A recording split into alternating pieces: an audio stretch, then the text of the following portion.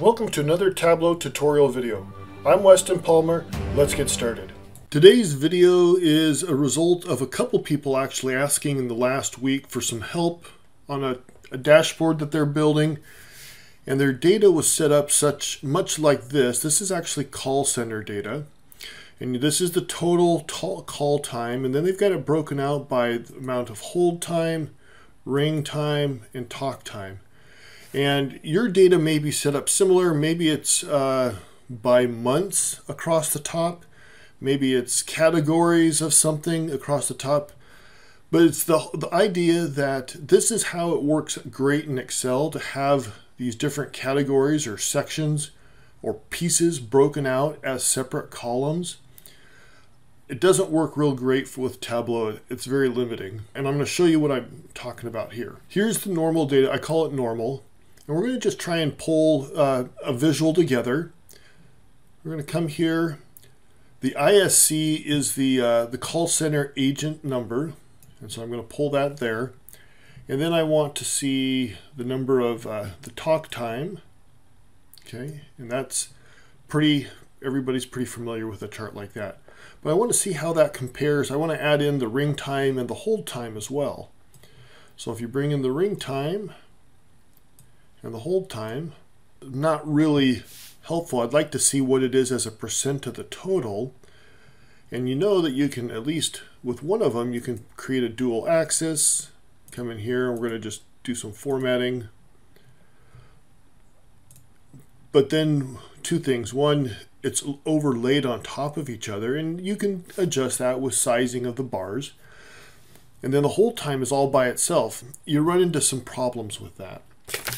So what I'm going to show you is we're going to come to another sheet and we're going to use this unpivot data.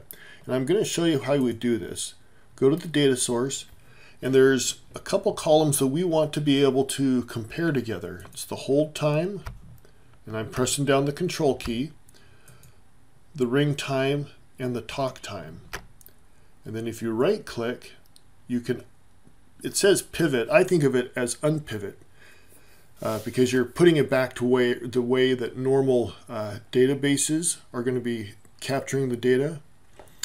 Now, the one thing about this I'll actually do this here. And so you're going to get the data, all the activity types. You can see here is a ring, hold time, ring time, talk time.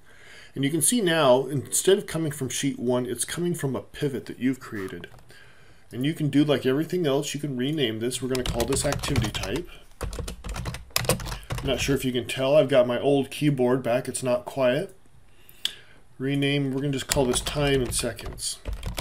Now there is, this doesn't work for everything. It works for Excel, Google Sheets, uh, PDFs if you've brought that in. There is another way if you do have like an Access or a SQL Server, there is a way you can create that, uh, do the same function using a custom, or actually using this uh, over here, a, a custom query, custom SQL query but that's a little bit beyond the scope of what we're doing here. The key is trying to get all of these activities into the same column. Maybe you can work with your DBA to make that happen. And then you've got your seconds. So now let's come to sheet three. We're going to use the unpivoted data. And let's bring ISC again, agents.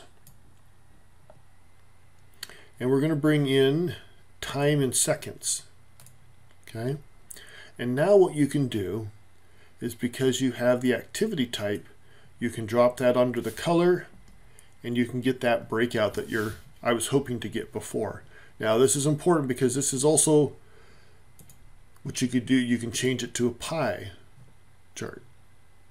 Any of these different, um, they had a tree map, where is it, where, one of these here, tree maps as well. Anything where you want to see the time as a part of the total, you need to use the unpivot. I've also seen it called um, from columns to rows, and I'll put that in the, the description as well.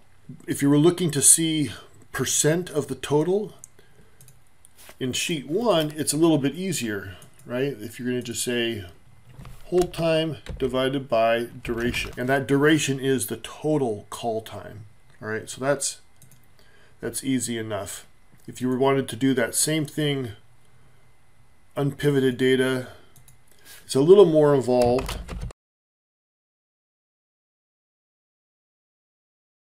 Uh, that's one option, or the other option, click OK, depending on what you were trying to do with it, you could just have time in seconds divided by duration in seconds. And then then you could just bring the activity type and you could just filter it that way. So there is, I'm a big proponent of unpivoting the data, getting all those breakouts into the same column so that you can make charts a lot easier uh, and work with the data better. Hope you found this is useful. Let me know if you've got uh, some other opinions on that. Thanks for watching, and a big shout out to our latest Patreon subscriber, Don Border. Thanks for joining the family, Don. Check out these other videos to learn even more about Tableau.